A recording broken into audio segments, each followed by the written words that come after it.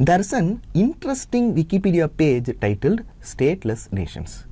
The page is about various ethnic groups that do not have a nation of their own. And these ethnic groups live as minority in various other nations. But why are they called stateless?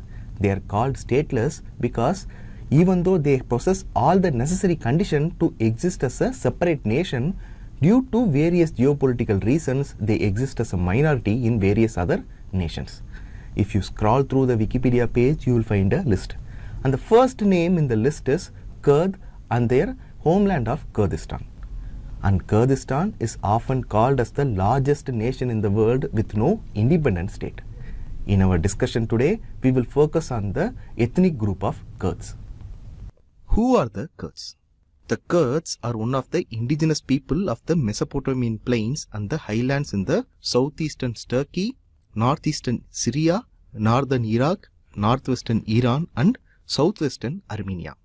Know that the majority of the Kurds are Sunni Muslims, and there are some Kurds who follow other religious beliefs also.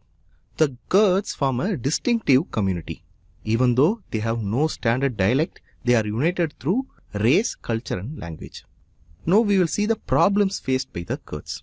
In the early 20th century, many Kurds began to raise their voice for the creation of their own homeland, which was generally referred to as Kurdistan. But their voice for the creation of the country of Kurdistan was never addressed. To understand this, we have to go back in time. We have to go back till the World War I. In World War I, the Ottoman Empire was defeated by the Western Allies, which comprised of France, Britain, Russia, and the United States. During the World War I, the Kurds helped the Western Allies. So, the victorious Western Allies made a provision for a Kurdish state in the 1920s Treaty of Sevres. The Treaty of Sevres was signed between the allies of the World War I and the Ottoman Empire. In that only, the provision of the Kurdish state was made. But such hopes of the Kurdish state was destroyed three years later. In 1923, the Treaty of Lausanne was signed. This Treaty of Lausanne set the boundaries of modern Turkey and this treaty had no provisions about the Kurdish state. So, this left the Kurds only with a minority status in the respective countries like Iran, Iraq, Turkey and Syria. So, from that time onwards, the Kurds have been continuously striving to set up an independent state. This is the basic about the Kurds, the issue faced by them and the country of Kurdistan. Now coming to the issue between the Iran and Kurds. The Kurds are presently inhabited in western Iran region and this region shares border with parts of Iraq and Turkey. And in Iraq and Turkey also Kurds are present. As we saw earlier, majority of the Kurds are Sunni Muslim.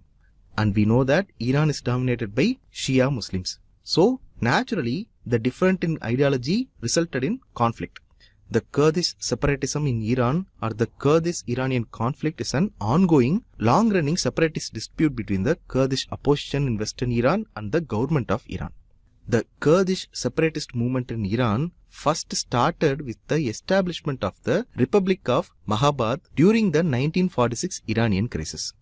The Republic of Mahabad or the Republic of Kurdistan was a short-lived Kurdish self-governing unorganized state in the present-day Iran, which stretched over Iran's border with Turkey and Iraq. The Republic of Mahabad was established with the help of Soviet Union, but the republic only lasted for one year. Due to the pressure from Western powers, the Soviet Union pulled out from Iran. So the Iranian government took back the control of the region and this fueled the continuous agitation by the Kurds for a separate state. Then, during the 1969 revolution, there was open conflict between the Shia revolutionaries of Iran and the Sunni Muslims of the Kurdish party of Iranian Kurdistan. And the fight for independence is an ongoing process. So, the present conflict between Iran and the Kurdish people is due to this long history of conflict between the Sunni Muslims of Kurds and the Shia Muslims of Iran.